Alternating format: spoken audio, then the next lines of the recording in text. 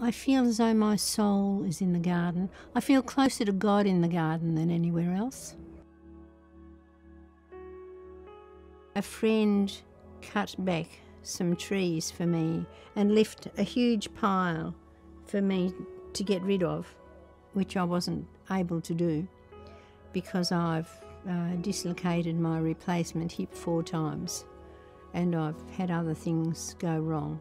My cat bit me and um, I uh, nearly died and nearly lost a leg. So I haven't been able to do certain things.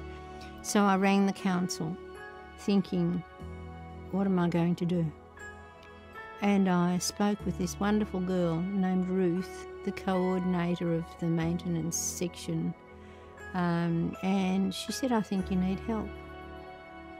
So she sent Philipe along and He's my help.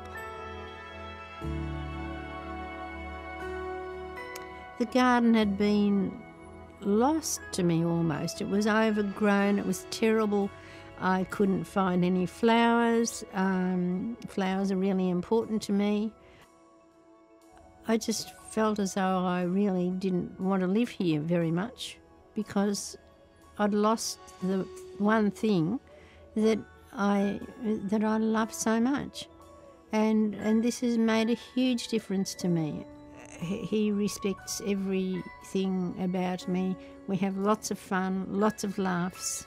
It's it's a great partnership and team, and reminds me I might be being a bit naughty with the hose sometimes he makes things safer for me. He might move a pot that he can see I'm likely to try and move myself, and he'll know that I really shouldn't be doing that.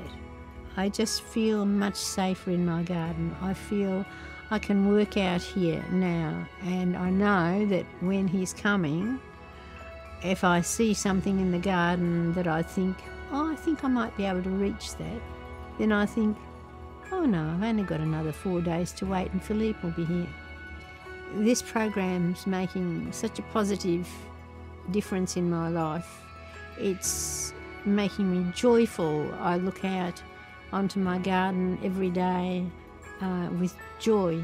I come out into my garden far more often than I did before Philipe started coming.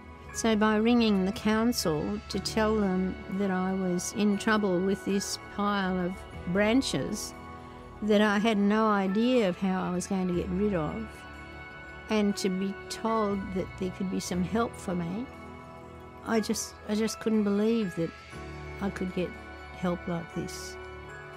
Uh, it's just the most wonderful thing. I have a lot of other help from the council, but this does something to my soul.